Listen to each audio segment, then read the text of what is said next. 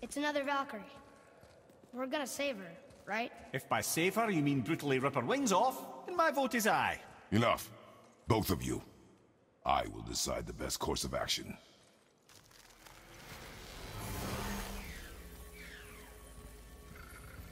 Prepare yourself. Not ready!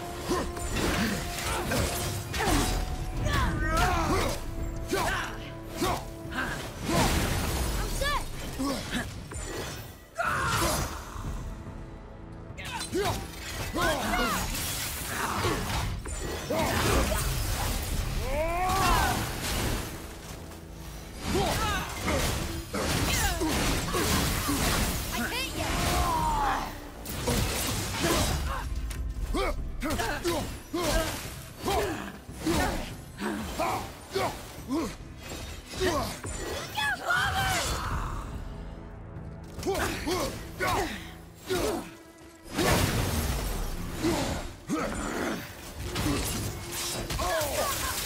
that one, brother.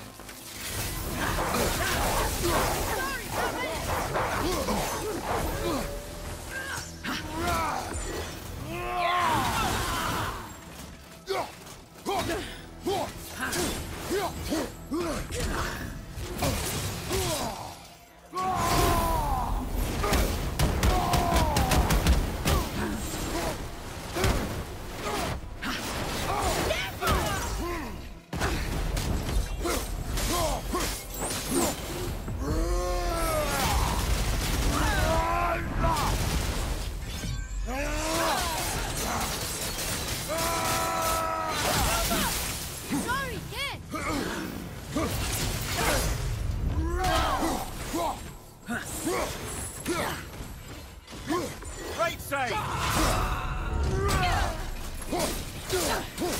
Right side! Ah! Freedom! Cursed no longer! A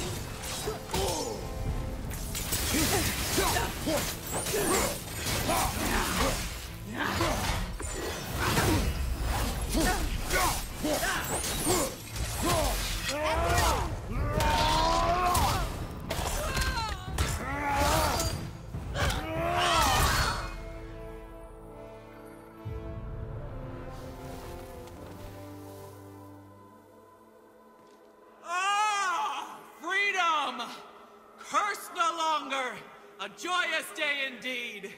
Oof, this one is louder than the last. Milady, please tell us. Why were you in this physical form? Why fight us? I do not know!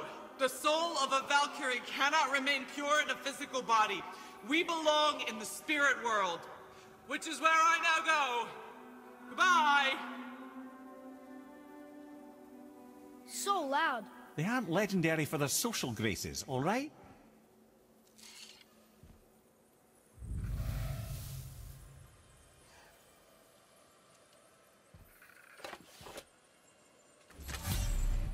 Made them this way. Who? And why? I...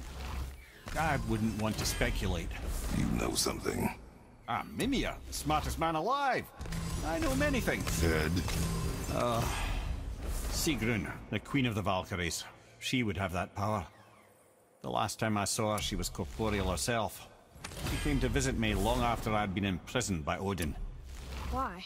Well, we had history, I guess you could say. Like, romantic history? Ah, lad, you're making me blush, I think. Can I still blush? first we hunt these creatures, and now we chase your former lover. We do not need this distraction. It's more than a distraction. Father, these are Valkyries. They're the ones who keep the dead from overrunning Midgard. Then they are terrible at their job. It's not their fault, brother. Someone changed them. Kept them from their duty. The Queen? I can't say for sure, lad. We should ask more of them. If, of course, you don't mind the distraction.